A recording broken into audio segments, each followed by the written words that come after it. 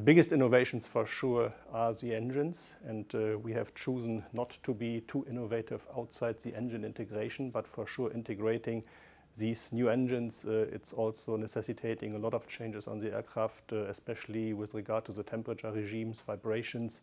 So there is a challenge uh, on temperatures. We are using very much advanced materials. We are also using advanced production processes, uh, which was necessary to secure the integration. We are also very innovative on the industrial side because for sure the customers are expecting not only on-time delivery of the first aircraft, they also expect on-time delivery of all the subsequent aircraft, so we need to secure the ramp-up.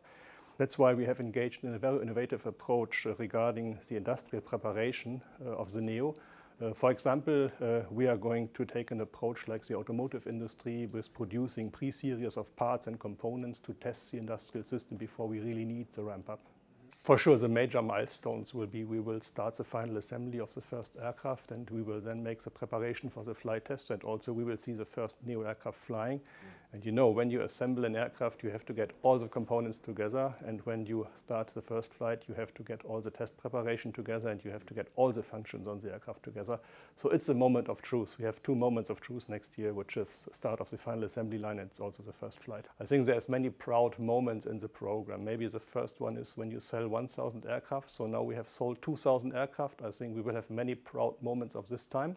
But also when you are progressing in design and especially when you see that you are meeting your targets, uh, that you are 100% confident to meet performance target, that you see you have a very good concept also in terms of quality, to secure quality and maturity. When you get confidence uh, with your schedule, that you see you are right on time and you are not deviating from your schedule, that you're really managing the program along the line, and this is a proud moment we almost have every day and every week.